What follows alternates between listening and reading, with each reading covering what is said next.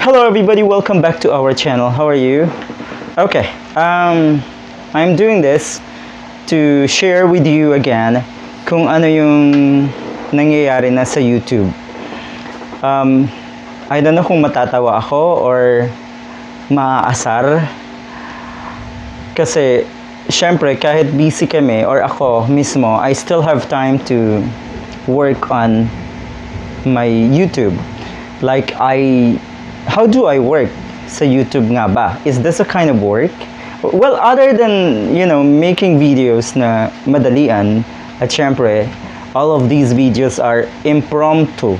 Meaning, wala lang, kung naisip ko lang and I have to share something that I know is worth uh, sharing, why not? So, lahat to medyo madalian pa. So that's why I'm, I was telling you before that most of our YouTube uh, videos are, we call it um, everyday videos lang. Meaning, um, hindi siya ganon ka uh, spectacular, hindi siya ganon ka extraordinary. So these are just common videos. You know, you, I just have to film what I have to say and uh, you know, take any time I feel like taking a video or, or shooting a video. Now, experience natin dun sa um, mga nawawalang subscribers. Siguro, this is like the fourth or fifth day, if I'm not mistaken. So, yung unang uh, araw, there was a big number of uh, subscribers na nawala sa amin. Almost 100. Siguro mga 80 to 90. So, that's the first day. So, nung second day, you still have to work the same way. Bakit ka panghihinaan? Eh, this is something that you enjoy, especially me. Ako talaga, as I mentioned in my other or previous blog, lagi kong sinasabi that this blogging or this uh, kind of thing that I make videos, upload in YouTube, I don't know if you can call it like blogging na, is sort of uh, a reliever, a stress reliever, not exactly for a stress lang, siguro yung something that I consider a pastime na. So you know, when you say a pastime, it's something that makes you happy. So yun, natutuwa ako na mag-video-video kahit hindi marunong mag-edit. So yun, ang ang feeling ko wala, hindi ako maaasar or hindi rin naman ako masyadong matutuwa. Pero I have a good news for all of you kasi may isang bagay na kinatutuwa ako today regarding of course my YouTube uh, channel. Now, so going back on the second day, the same the usual thing that we do every day, I have to visit other channels and make sure that you know, when you comment on those channels or videos, kailangan catchy. Hindi lang siya doon sa may-ari ng video. It should also be, you know, catchy doon sa mga naghahanap ng mabivisit. So, ikaw, kung ikaw ay nag-visit sa isang videos ng, ng isang YouTube channel at yung channel na yun ay hindi ka binalikan, don't despair. It's okay. Alam mo kung bakit? Nagiging omnipresent ka. It's like you are present everywhere. At malamang sa malamang, you are to be clicked. I mean, your channel should be visited ng mga nakikita ng comment na yun. Remember, dun sa comment section na yun, hindi lang yung may-ari ng video ang pwedeng makakita ng mga videos mo. Ah, mga comments mo rather. Like what I do. Pag nag-visit ako ng isang channel, uh, you know, while watching the video, I think you guys also do this. Habang nanonood ako ng video, I check the comments. Sino ba ang online? Sino bang posibleng ma-visit today? And uh, recent lang yung comment. So, most probably, yun yung binivisit natin. So again, kung hindi ka binalikan, pakialam natin. I mean, why care? So long as ginawa mo yung tama because your comment appeared. So therefore, you did the right thing. So, ang maganda doon, again, your comment will be visible sa maraming naghahanap ng mabivisit. At syempre, mabivisit ka nila. This is very exponential eh, yung pag-produce or reproduce nung nung supposedly nung ating mga subscribers kasi one comment alone posibleng makita yan ng lahat ng magko-comment doon sa video na yon. So, imagine ah, kung ikaw ay vinesit ng mga yon, that could be a lot of subscribers. Kaya lang minsan kasi hindi naman yun ang nangyayari. Um, I don't know, but that's that's what I do. Binivisit ko sila, then comment, then check out the other comments that I will visit. Alright, so anyway, so much of that.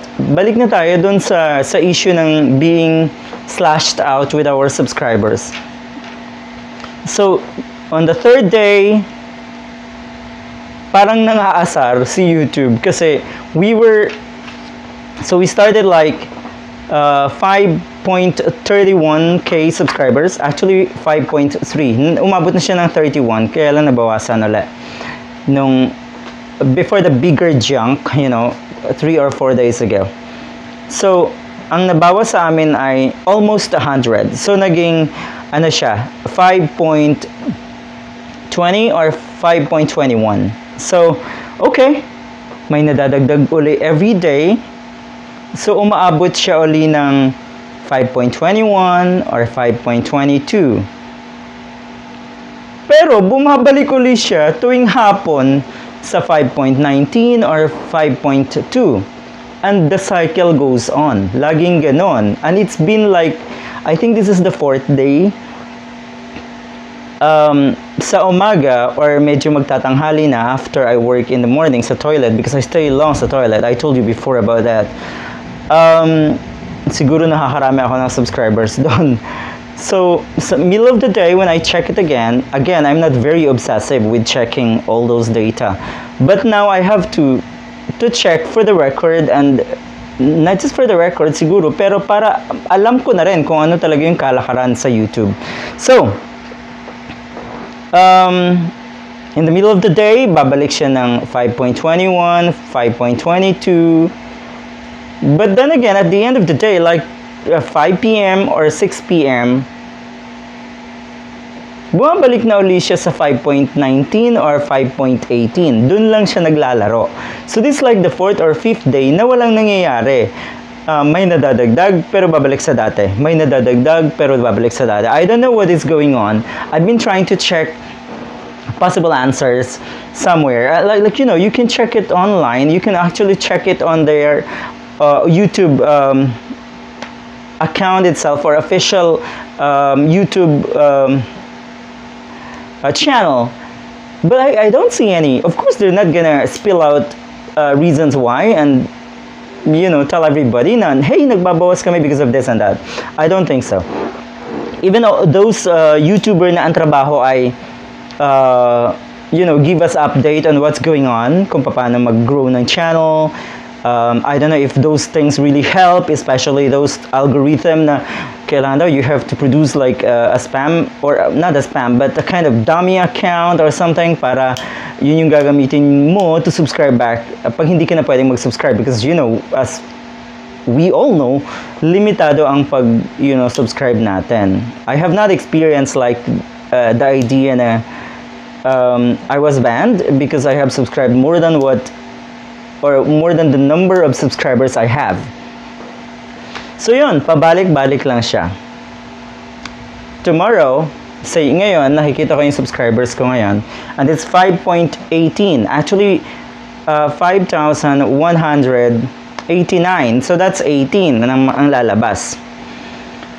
Um, kahapon, ganun din ata, bumaba siya ng 5.18 or 182 or 83. So may nadagdag at least dalawa. So, you know, you still have to work before, I still have to visit other channel tonight before bedtime. So, I'm sure madadagdagan. And let's see kung anong mangyayari tomorrow. But it's been a cycle for 5 days. Medyo nagwa-wonder na ako. Okay, what is the good thing? Um, katulad ng sinabi ko, hindi talaga ako obsessive. I'm not very conscious about checking the, the data or checking yung revenue, especially the revenue. Hindi ko siya masyadong na-check. But that's true na madalas din kami dating bawasan ng revenue. If you ask me pala, um, ito yung nakakatuwa regarding our, we've been monetized for one, almost two months. At syempre nakikita ko naman may revenue. Uh, the good thing is, kahit medyo hindi naman karami ang views namin, we upload a lot kasi. If you can see, like uh, to three times a day. And that would really help dun sa mga uh, monetized na to at least add up to their revenue. So, okay, eto ang nangyari. Hindi ko chine-check yung analytics at lalong hindi minsan ako nag-check ng email, hindi pa ako na-login sa AdSense. Yung pala may sweldo na kami. The problem is, um, I think magwa one month na, wala pa rin yung PIN number. Pero according to YouTube, our salary is on hold kasi nga wala pa daw. Pero wala naman akong makukuhang PIN sa, sa lobby. So we'll try to check again and again, siguro soon. Pero I I know na may meron na kaming good amount of revenue or good number of revenue. Um,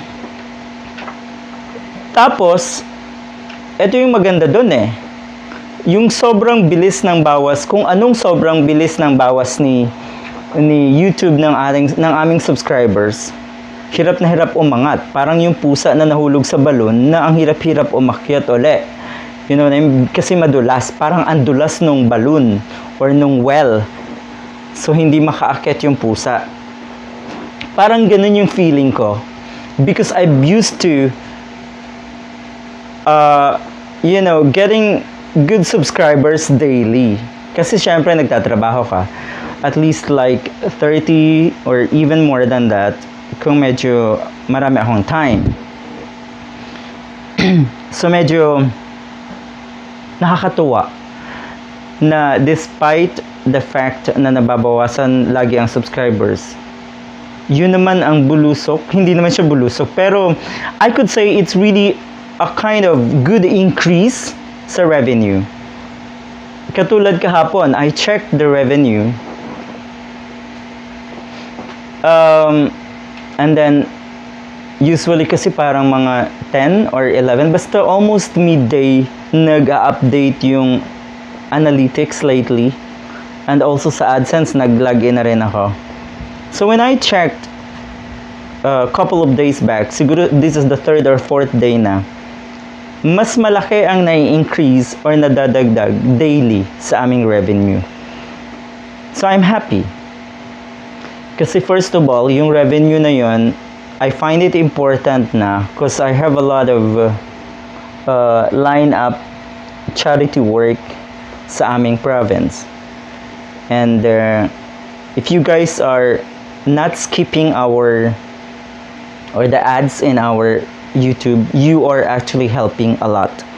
Kahit hindi pa kami nasweldo sa YouTube, I actually have done two charity works or actually tatlo na na charity work sa province namin. And that's going to continue. Kasi syempre pandemic, I feel the need of uh, you know, sharing whatever I get because that's the essence of getting eh. we get because we are to share. We get more because we are to share. And the essence of uh, sharing and giving, lalo na ngayong pandemic, is hindi lang siya charity. Hindi lang siya being magnanimous. You know, magnanimity, giver. Hindi lang pagiging giver eh. I think it's it's um, the highest form of humanity para sa akin. And it's nice to be to be humane. All right. Well, thank you.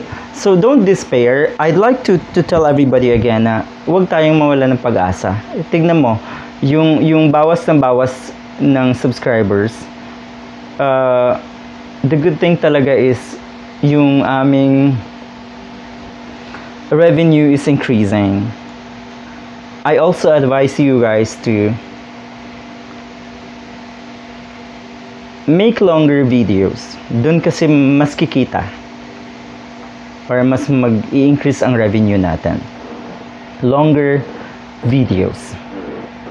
Alright? So, I, I still have to thank, uh, of course, my, my uh, supporters dito sa circle nating mga baguhan.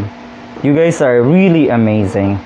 Other than you, uh, people, of course, meron akong mga supporters outside. My family, are my my friends, yung mga kababayan ko sa Banton Romblon. I know they are watching my videos pag nagsi-share ako. And if they um, uh, get sick and tired na lagi na lang yun ang nakikita sa sa sa timeline ng Facebook ko and to to which I share kahit sa mga group chat um, that's fine because I know I'm doing this for for really good cause So, thank you to everybody. And uh, meron pa akong isi-share na isa sa inyo. Um, yung aming ano ba yun? Salary. Actually matagal na pala na ready. Kaya lang wala pa nga yung wala pa yung pin. I don't know uh, kung nasa baba na i-check ko uli kasi meron kaming uh, mailbox sa baba Uh, the last time I checked was like days, days back. Hindi kasi ako madalas bumaba. Bababa man diretso na sa sa LBC kasi hindi na ako mag-check-check doon sa baba at minsan may mga taong nag-check doon sa my how do you call this? Parang mailbox ng bawat unit. Meron kami kanya-kanyang mailbox at magkakadikit yun lahat. So, okay, yon ang nangyayari sa YouTube channel namin ngayon. Um, one more thing. I'd like to stress out again yung pagkiklik ng notification bell icon sa all. I wanna ask you people, lalo na yun sa mga starters na katulad ko, is it hard to click the all? Di ba napakadali lang? And if you think na pag click mo yung bell button and you choose the option all, if you think this is for the good of that channel, no. Actually, that's for your good na rin. Doon ka maglalago or i- doon ka mag-grow as a channel. Kasi, um, it is gonna be hard, really hard, for us to find channel na bibisitahin pag wala kang nakiklik na all. Kasi there's no notification ng mga bagong video nila. At again, um, we would love to visit newly uploaded videos kasi marami doon na naghahanap din kagaya natin. So we can exchange or we can visit them as well. And imply again I'd like you to to to just imply the exchange of subscription. Imply hindi yung hey mag-sub ka sa akin para iwas bawi. I I read one one one comment like that that was absurd talaga? Parang uh, tapos na ako pakibalik na lang para iwas bawi. Oh oh my god. How on earth can you can you think of it? You're not gonna grow. Alam mo kung bakit? You think lahat ay laging online and can always you know get back to you as you wish? Hindi naman eh. You have to wait. You have to relax. Hindi lahat na kesyo nag-subscribe ka, you get it instantly? You get it back instantly? No. It would probably take time. Meron nga dyan, nagugulat na lang ako. Sabi nila, sorry sir, sorry po na late ako.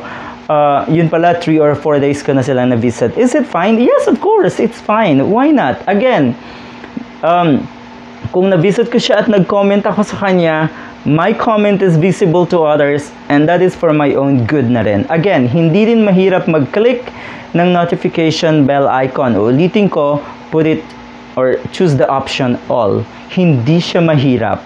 Now, kung hindi ka talaga interesado sa channel niya, you better not watch. And you better not say na I'm done and you are to to you know come back to me and subscribe. No. Kasi eh, kung hindi ka talaga interesado, ako napapansin ko na ang sobrang interest ko ngayon ay yung pagluluto dahil hindi ako marunong magluto. And unconsciously, nadadala ko yan. Natatandaan ko minsan yung napapanood ko and who knows, probably later on, baka bigla akong mapaluto.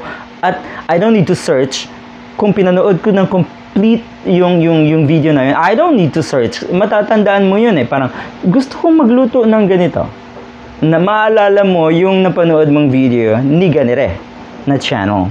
So that's, although hindi talaga ako marunong magluto, kaya hindi, hindi ako cooking channel eh. But I'm so interested in visiting cooking cooking channel. I don't know. Siguro siguro I'm crazy about food. I'm just so crazy about food, but I don't cook. I'm not a cook. All right. So find your interest. Other than the interest of you sharing in your channel, hanapin mo rin yung interest mo sa mga bibisitahin mo. Kasi if you don't have interest dun sa bibisitahin mo, I'm sure hindi ka makakagawa ng magandang comment and you're you're just wasting your time. Baka hindi mo kasi matapos rin yung video na yon. Other than cooking, I am ver- very interested also dun sa mga nagagawa ng tutorial na editing because I don't know all of those things. So it would help. Meron yung isa doon na mga nakasave pa sa, sa akin. Because I want to go back later on when I have time to learn editing. So those are my interest. Other than that, I'm also interested dun sa mga nagsishare ng, ng gospel songs, yung mga masas... But anyway, music. Gospel songs. Katulad ni Pastora, Danspiration. Um, I don't know, it just feels like I have to watch every day. Sa, sa umaga when I cook, alam ko nag-upload na siya uh, early on before I get up. So I have to go and visit. So, why do I have to visit that channel? Kasi interesado ako. Not because, not only because I have to support, but it's, it, the support just follows. Kasi super interested ka. So again, other than your interest kung ano yung i-upload mo, come on, find your interest. Ano ba yung gusto mong vis- i-visit na channel? Because if you are only uh, close to, um, to, like me, sa teaching lang, yun lang bibisitahin ko, that's very limited. So you can also visit others and support each other. Um, I don't know kung yung, yung teaching lessons ko na ginagawa, ginagawa ko usually out of nowhere, I, I, may mga nagkaka-interest. I don't know. Pero I, I, I'm happy of those comments na very positive. I have not seen any negative comments anyway. Other, otherwise, hindi, hindi talaga sila makakakuha ng return. I'm kidding. That's true. But I see the authenticity of their comments. I love it. Um, yung time nila to, you know, to construct such a long and very authentic and their sincere comment, um, that's a big thing for me. Well, thank you. Um, I want you to, to comment kung ano yung na- nararanasan nyo rin today or these times sa sa YouTube channel no, nyo, nyo so we can help and you know at least we can learn from each other. Okay, thank you for your time and I would like to announce before I I end that I will have uh, other than the charity um, sa magiging salary namin. I'm also giving out some prizes um, and most probably after a week we are going live. Hmm hindi ako sanay dun sa live. And uh, we'll have some prizes when I say price it's gonna be big. Hindi lang siya you know loads. No I'm, I'm giving out really some some prizes that uh, that could be of help especially for students. Okay thank you so much. Enjoy the rest of your day. It's raining cats and dogs. That means strong rain. But actually it has stopped. But it's still dark and i'm sure it's still gonna you know drizzle. It's still drizzling. Drizzling. Medyo mahina lang na ulan. Okay thank you so much. Please uh, i'd like to reiterate this please hit that notification bell icon and go to the all option. It's not hard. And if you still are not part of our channel please go ahead and subscribe. Uh, i guarantee my support back to you all. You all have a great day